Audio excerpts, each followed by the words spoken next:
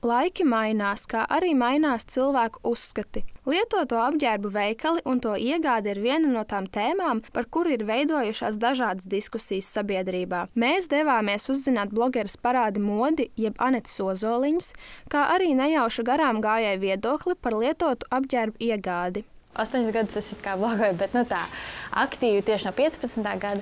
Nu, jā, tad tas mans pirmais video bija tas humpalu ķēriens, bet arī pirms tam blogā es vienmēr centos parādīt īstenībā, cik maz naudas vajag, lai izsītos stilīgi. Tas man arī kopš bērnības ir jau man mamma ar māsām vienmēr ņēmušas līdzi. tas vienkārši ir, ir bijis daļa no, mūsu ikdienas. Un, un tad, uh, protams, skolas laikā tas nebija nekas prestižs, iepirkties humpalās, bet akadēmijas laikā, protams, tas viss bija Visi to darīja. Nu, tas tas nelikās vispār nekas dīvains vai kaut kā tā. Man tas nekad nav bijis tāds, ka es oh, tagad sākšu iepirkties humpalās. Tas vienkārši ir bijis normāli vienmēr. Un arī tas ir zinām, zināmā veidā tāds azarts, un tas ir ļoti interesanti, ko tu atradīsi. Un, uh, ja tu aizies uz veikalu, tu jau zini, kas tur būs apmēram priekšā vai ne. Un, kā, tas, tas nav arī nekas tik interesants, tik radošs, un tu iztīsies vairāk nekā vispārējie, nevis unikāli. Es, es pateiktu, esmu atkarīga no viņām, jo es tikai, tikai visu to labāko varu pateikt. Jā. Нет, я не хожу обычно и не покупаю там, соответственно, ничего. Ну, просто у меня нет интереса к этим магазинам. Ka ir cilvēki, kuriem tas ir vienīgais ienākumu veids, kā to patērēt, un grūti nopirkt dārgākas preces. Tad tajā gadījumā tas noteikti ir pieņemami.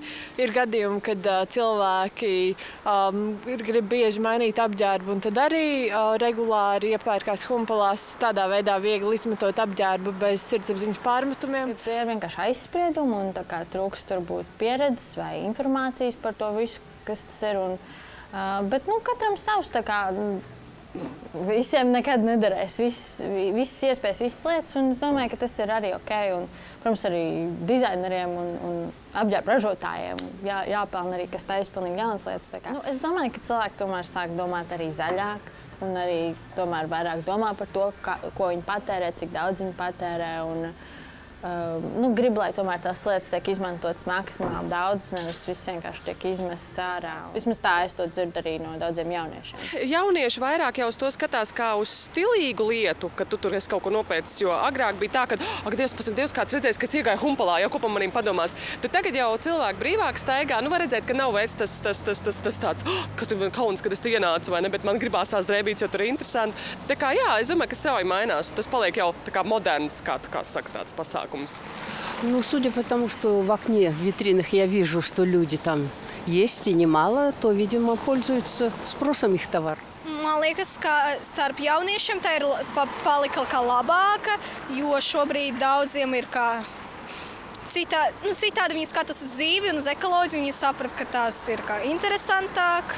Es nezinu, man liekas, ka, tas ka tā ir arī iespēja ietekmēt modes industriju. Nu, kādreiz tas bija jā, nu, tāds uh, iztikšanas uh, jautājums. Pēc tam tas parāda, nu, vienā brīdī kļuva par tādu stilu lietu. Jo tur var atrast daudz ko, daudz ko tādu, ko nevar atrast veikalos. Un tagad, cik es saprotu, tā kā ir uh, planētas uh, labā tas tiek darīts. Ja? Nedomāju, ka tas varētu izglābt planētu. Liekas, ka, ka tā ir forša vieta, kur var atrast kaut ko ekskluzīvu, kas nav citiem. Un man liekas, ka tas ir ļoti labi priekš ekoloģijai, jo nu, jūs nepērkat pie masmarketiem. Tas nozīmē, ka jūs kā nenodarbojaties ar to, ka nopirkt kādu lietu un pēc tam viņu izmetat? Manuprāt, jā, ir, ir mainījusies sabiedrības attieksme. Tas kļūst daudz pieņemamāki. Un, manuprāt, cilvēki sāk izmantot šo iespēju, bet atsevišķi cilvēki pieturās pie iespējas iegādāties augstas kvalitātes apģērbu, jo tādā veidā paši cil, cilvēki, kuri strādā šajā apģērba rūpnīcā, ir labāk nodrošināti un tiek domāts arī par viņu dzīves apstākļiem. Ir dažādi pamatojumi, kādēļ cilvēki izvēlās iepirkties tieši lietoto apģērbu veikalos. Vai tas būtu finansiāla, ekoloģijas vai unikalitātes iemesla dēļ. Iepirkšanās šajos veikalos nekādā ziņā nav apkaunojoša, tomēr vēl joprojām viedokļi par šo tēmu ir dažādi.